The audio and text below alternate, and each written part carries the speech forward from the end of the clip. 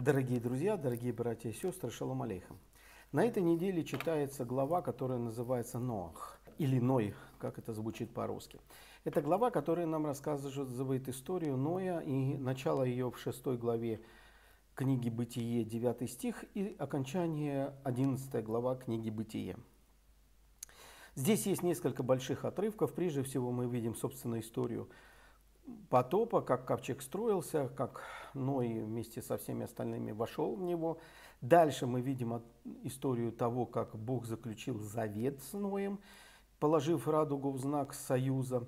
Дальше мы видим с вами историю потомков Ноя, как они жили после потопа, собственно, возведение Вавилонской башни и результат того, что произошло. И в конце есть перечисление десяти поколений от Ноха до Авраама. Собственно говоря, мы должны понимать, что от э, Адама до Ноха тоже 10 поколений. Таким образом, получается, что Нох жил как бы посередине между Адамом и Авраамом. Итак, что мы знаем о Ное? Во-первых, мы знаем о Ное то, что у нас записано в 6 главе, 9 стихом, написано так.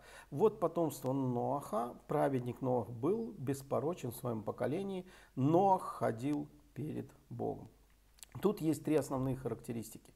Прежде всего, мы с вами видим, что он был праведник.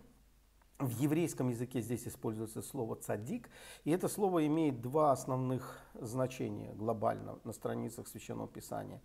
Первое – это цадик, э, праведник, который э, поступает по закону, я имею в виду закон Торы, и э, для него естественно – исполнение этого закона, то есть это желание его сердца, это стремление его. И второе значение – это человек, который оправдан по закону, то есть э, признан Торой невиновным. Я не буду углубляться, эти термины очень часто встречаются в моих уроках. Второй момент, о котором мы здесь с вами читаем, в этом же стихе, написано, что Нох был беспорочен. И опять мы находим, что в еврейском языке используется слово «тамим». «Тамим» – это слово, которое может переводиться как и «беспорочный», но в принципе оно имеет гораздо более широкий спектр значения. Например, мы читаем, когда с вами э, заповедь о красной корове, которую приносили в жертву для очищения. Мы видим, что там тоже используется это слово. Оно означает, что э, корова должна быть абсолютно красная, да, то есть э, без всяких... Наши раввины говорят, что если на корове находили хотя бы два волоска другого цвета, то она уже была забракована. То есть это слово может означать абсолютный, то есть абсолютная праведность Ноя. Именно поэтому мы с вами читаем э, в этом же стихе, что Ноа ходил перед Богом. То есть э, его хождение в этом мире, его жизнь в этом мире была ориентирована на Бога. Он знал, кто такой Бог, он стремился делать так, как Богу угодно. При этом интересно, что Рамбам пишет такие слова, комментируя этот текст – что согласно Пшату, а Пшат это простое буквальное понимание любого текста библейского, так вот, э, по-моему, согласно Пшату, это означает, что Нох был единственным праведником в тех поколениях. Это означает, что нет в этом поколении никого другого достойного, чтобы спасти его.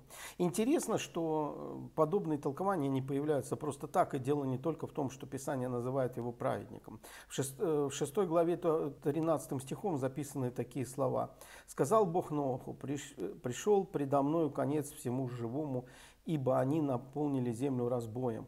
Я уничтожу их вместе с землей». Э, в русском переводе переведено, используется слово «разбой», Э, в принципе, слово, которое здесь стоит э, в еврейском языке, это слово «хамас», оно может означать разбой, но и зло, и грех, и, в общем, все самое страшное и черное, что только есть э, в и злое, что только есть на страницах Священного Писания, это слово объединяет.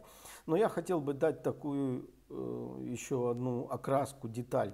Как-то очень-очень давно я прочитал притчу, которая рассказывала о тех временах, и э, там была выражена такая идея, что люди, которые жили в то время перед потопом, они совершали э, злодеяния, которые были не потому, что человек согрешил, там, поддавшись искушению, да, или еще что-нибудь в этом роде, да, а грех совершался потому, что люди знали, что Бог э, ненавидит грех, и дабы досадить Богу, они совершали этот грех.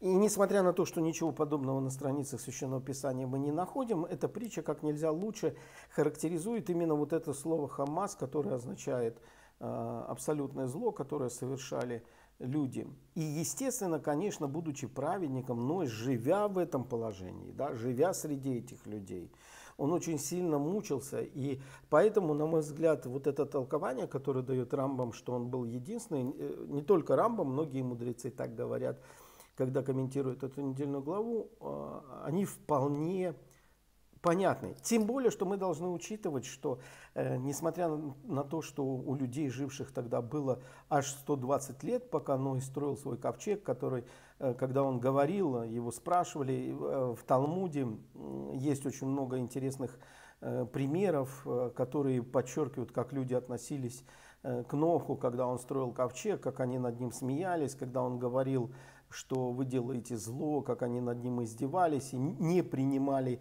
его обличение. И с одной стороны, это показывает нам, что действительно Ноах был, видимо, единственный, кого интересовало мнение Бога или воля Божия, если быть более точным. С другой стороны, мы понимаем, что действительно, будучи праведником по своей природе, он мучился от того, что люди совершают подобные злодеяния. Еще один момент, на котором я хотел бы обратить ваше внимание, это завет, который Бог заключил с Нохом.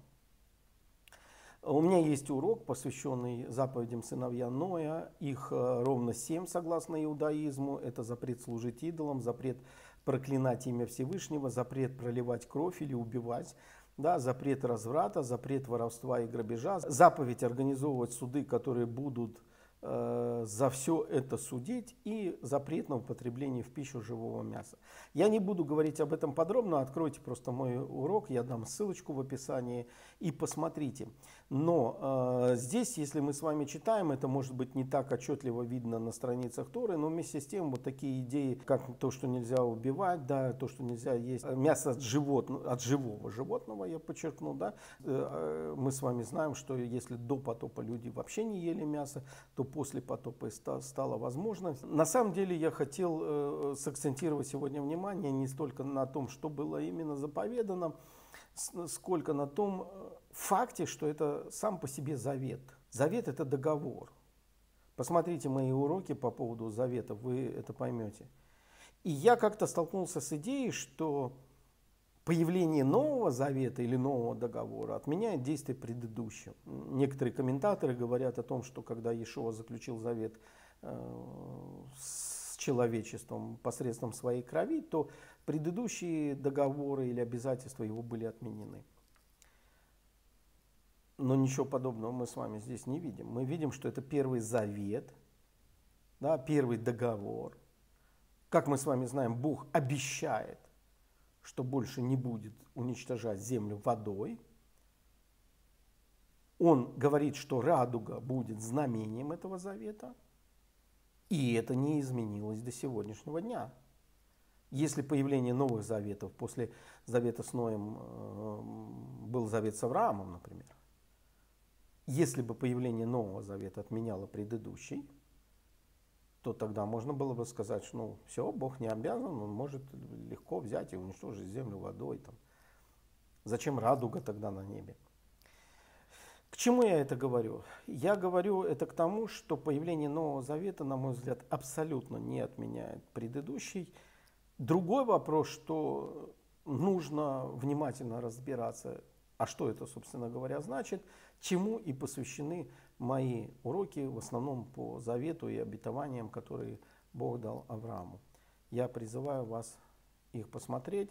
Опять-таки в описании я дам ссылку. Итак, мы с вами встречаем здесь и историю, как Бог заключил с Ноем завет. Этот завет был безусловный, то есть когда Бог заключал с ним этот завет, он не ставил перед Ноем никаких э, условий. Он просто сказал, что так и будет – И слава нашему Богу за то, что любое сказанное Его Слово неизменно во все времена. Да будет Он прославлен. И я благословляю вас. Бащем еще Машех. Аминь.